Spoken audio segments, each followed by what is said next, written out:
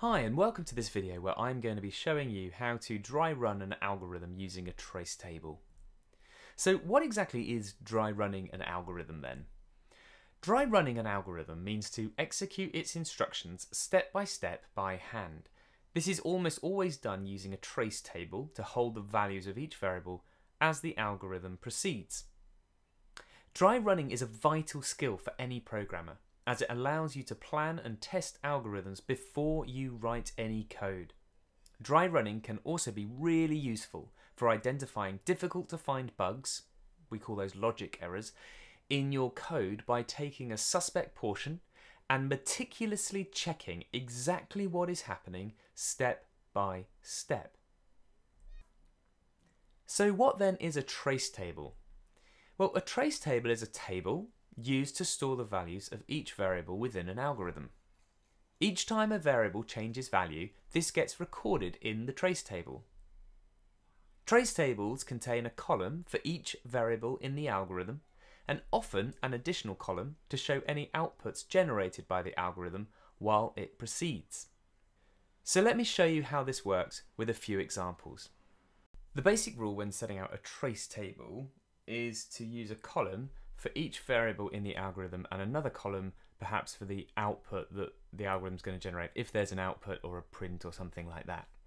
So in this algorithm we've got three variables. We've got x, sorry, two variables, x and y, and we have an output. So we're going to need three columns in our trace table. So here's a trace table and I'm just going to lay out uh, the column headers. So I'll do one for x, y, and output.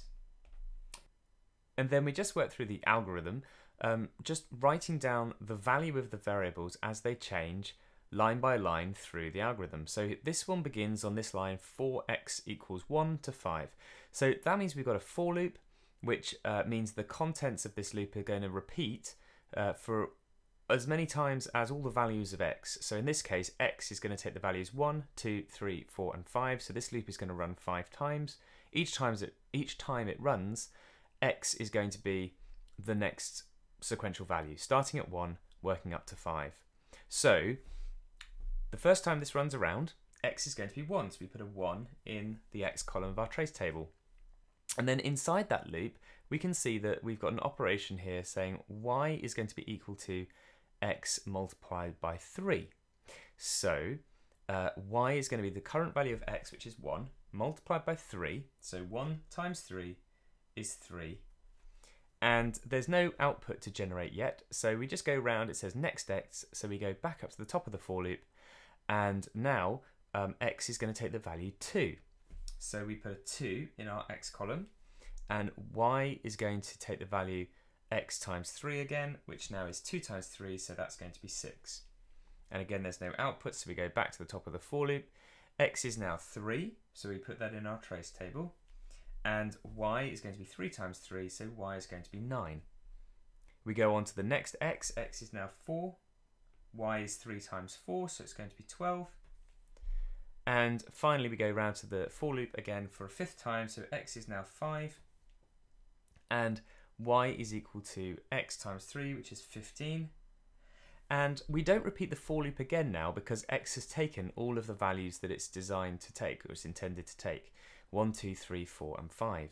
So we're finished with the for loop, so execution jumps down to the output y statement. So the output in our algorithm is going to be the current value of y, which if we look at our trace table, we can see is 15. So we're just going to output 15, and that is the end of the algorithm. In this algorithm, we have got three variables, a, x, and y, and an output. So we're going to have four columns in our trace table. And just like before, I will put the names of the variables as the headers to the columns. So I've got A, X, Y, and output. So, in this algorithm, we start off by setting the value of A to 4. So that goes into my trace table in the A column. A is 4. And Y is going to get the value 0. So we put that in the Y column. Now, the next line says for x is going to be equal to 1 to a. So that's interesting because a is a variable. Well, its value is 4, which means that the for loop is going to run 4 times. x is going to take the value 1, 2, 3 and 4 each time it repeats. So the first value of x is going to be 1 and I'm going to put that in the x column but I'm going to put it on a new line um, because every time a, a for loop begins or a while loop or something it can be helpful to put that on a new line because it kind of tells you in your trace table um, that this is part of a new section of the code. So I've put x is 1 and while x is 1, what happens to y? Well, y is set to be itself, which currently is 0, plus x times a. Remember, a is 4, x is 1. So this is like saying y is going to be equal to 0 plus 4 times, or 1 times 4, or just 4. So y is now going to take the value 4, so I put that in the y column. And my for loop, everything is finished inside my for loop, so it goes round and starts again. Now x is 2, and this time I have to update the value of y, so y is equal to itself, which is 4, plus x times a, which is 2 times a, which is 2 times 4, so that's 8, so it's going to be 4 plus 8, which is 12. Okay, and now my for loop repeats again with x as 3, so this time around, y is going to be itself, which is 12, plus 3 times 4, which is 12. So it's going to be 12 plus 12. So it's going to be 24. So x is 3. I didn't fill that in. And uh, y is going to be itself, which is 12 plus 12. So 24. Okay, and now my for loop is going to repeat for the last time. x is now 4.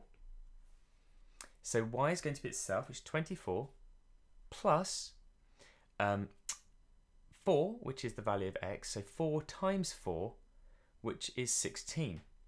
So 24 plus 16 is 40. So the final value, um, and that's our for loop finished, I should say. So the final value of y is 40, and that's what we output at the end of the algorithm. So the output is 40. In this example, we've got four variables, a, b, x and y, and um, one output. So we are going to have five columns in our trace table. So again, I'm just going to put in the column headers a, b, x, y, and output. And on the very first line of the algorithm, we can see that the values for a, b, and y are assigned. So A is 3, so I'll put that in my trace table. B is 2. And Y is 0. And there's no value at this stage given for X. Now, if you remember from the last example, I said that when we start a for loop or a while loop, um, it's useful to start a new line in our trace table. So this value of x equals 1, um, the first value of x in the for loop, is going to go on a new line. So I'll put x is 1. Now inside the for loop this time we've got um, an if statement. The if statement says if x mod 2 is equal to 0. What on earth does that mean? Well, the mod operator returns the remainder of a division between two numbers. So for example, if I took 9 mod 4, it's like saying what's 9 divided by 4 uh, and what's the remainder you get from that. So if I take 9 and divide it by 4, I get 8 and 1 fourth or a quarter. Okay, the remainder is 1. So 9 mod 4 is 1. So what we're saying here is if x divided by 2 has no remainder, or it goes into 2, or 2 goes into x completely. So if, if I can divide x by 2 and get no remainder, then we're going to run that first bit of code that says y is equal to a times y plus b times x. Otherwise, or else, we're going to run the line of code that says y is equal to itself plus b times x. So let's have a look at that. x is 1.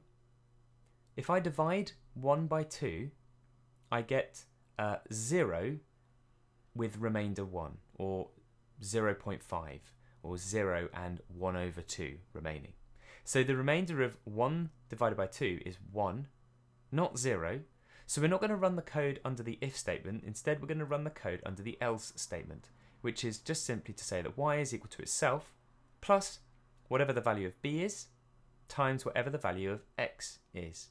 So in this case, y is equal to itself, which is 0, plus b times x. And b is 2, x is 1, so y is going to be 2. Okay, let's take our for loop round again. Now x is going to be 2, so we'll put that in our trace table. Now 2 divided by 2 does go completely, leaving no remainder. So 2 mod 2 will equal 0. In which case we run the top line now. So y is going to be equal to itself, uh, sorry, yes, itself multiplied by a, so that's 3 times 2, or 6, plus b times x. b is 2, x is 2, so that's 4. So 6 plus 4 is 10. So y is going to take the value of 10. Let's go around the for loop again. x is now 3. 3 when divided by 2 leaves a remainder of 1. So 3 mod 2 is 1. So we go to the bottom branch. y is equal to itself plus b times x. So y is 10 uh, plus um, b, which is 2, times x, which is 3. So uh, that's going to be 10 plus 6 is 16. So that goes in the y column. And we go round the for loop again. x is now 4. 4 mod 2 equals 0 because 2 divides complete. Uh, 4 can be divided by 2 with no remainder. So we now run that top line again. So y is going to be equal to 3 times 16 plus 2 times 4. So 3 times 16 is equal to uh, 30 plus 18 is 48. Okay, so 3 times 16 is 48 plus 2 times 4, which is 8. So it's going to be 48 plus 8 is 56. And now we can go around our for loop again. Uh, for the final time, x is now equal to 5. And so 5 mod 2 uh, leaves a remainder of 1 again. So we're going to go to the else branch. So now um, y is going to be equal to itself, which is 56, plus b, which is 2, times x, which is 5. So that's 10. Uh, so it's going to be 56 plus 10, which is 66. And we've now finished our for loop and the output is simply the final value of y, which is 66. In this example, we're going to be using an array that stores multiple values, or you may uh, have heard of the word list if you use Python particularly. So we've got an array or a list containing the values 4, 2, 7, and 6. We've got a variable, max, and we've got um, a variable x. Now the values in data don't change, so we don't actually need to necessarily record that in our trace table, but we are going to be changing the value of max and the value of x. So we want to again set out our trace table with max, x, and output. And the first line of our um, algorithm just defines the value of data, the, the items in the data array. So we don't need to record that in our trace table. So we go to the next line where we set max to be equal to 0. And our for loop is going to run from, with x being the value 0, up to the length of data minus 1. Well, the length of data is 4, because there's 4 items in the data array. Minus 1 means it's going to run up to the value 3. So x is going to take the values 0, 1, 2, and 3. So x starts at 0, and I'm going to put it on a new line because it's a new for loop. And then we say if data x, which is data 0, which is the first item in the data array, so that's the item 4. So we can now say if 4 is bigger than max, max is 0, so we can say, well, if 4 is bigger than 0, yes it is, then we need to set max to be equal to data x, data position 0, the value 4. So max is going to be set to 4. So we now update max and set it to 4. Okay, we can now go to the next value of x in our for loop. So x is now going to be 1. And we uh, once again, we run our little if test. If data 1 this time is greater than max, well, data 1 is the second item, that's 2. and max is 4. So this is saying if 2 is bigger than 4. Well, it's not. So we don't have to do anything. We just go straight down to next x and we start our for loop again. So we're now going to go to x is 2. If data 2, that's the third item, so that's 7, is bigger than max, max is 4, so 7 is bigger than max. So we are going to run the code inside the if statement and we're going to set max to be equal to data 2, which is the value 7. So max is going to be equal now to 7. Okay, and uh, we can go to next x, we go back to the start of the for loop, and we run for the last time now because length data minus 1, remember, is 4 minus 1, which is 3. So x is going to be 3, so that's the last time around the loop.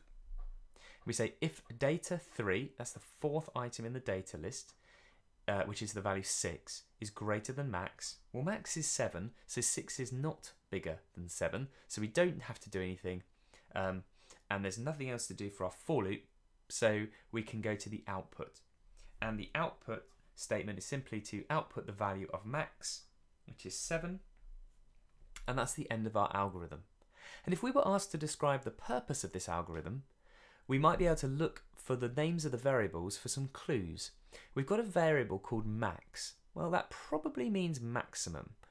Um, and let's just see what happens. We're going through each item in our list, one by one by one, and every time we find a bigger item or a bigger value than the current value of max, we replace it with that item. In other words, max is always going to store the biggest value we've found.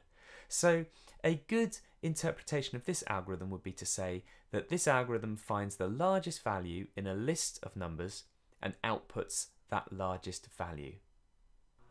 For our final example, we're back to only three variables, x, y, and z, and an output. So we've got four columns in our trace table, and I'll put my headers in x, y, z, and output.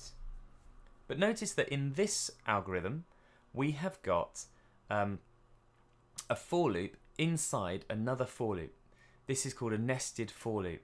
And how this works is that the inner for loop is repeated completely, or you know, as many repeats as it needs to make um, happen for every repeat or iteration of the outer for loop.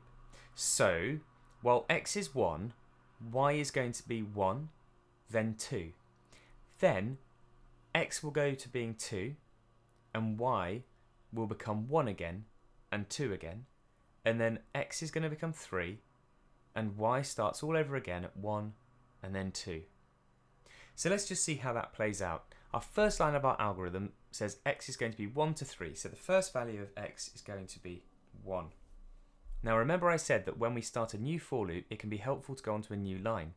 So with the value of y being set to 1, we're going to put that on a new line. And z is going to be equal to the value of x times y, which is 1 times 1. So z is going to be 1. So the y loop, the y for loop, has uh, done its code, so it now repeats, and we set y to 2. z is now x times y again, so that's 1 times 2, so z is 2. That y for loop has now completely finished running. And so we now jump to the line that says next x. And from there we go to the x for loop again, but we've increased the value now of x to 2. So with x set as 2, we're going to start the y for loop all over again on a new line with y equals 1. And z is going to be equal to uh, x, which is 2, times y, which is 1, so z will be 2. Uh, now we go back to the beginning of the y for loop and set y to 2, and z is going to be equal to x times y again, which is 2 times 2, so that's 4. The y loop has now completely finished, and we go back to the x for loop again, where x is now going to take the value 3. Now I'm going to run out of lines in my trace table, so I'm going to need to make some more space.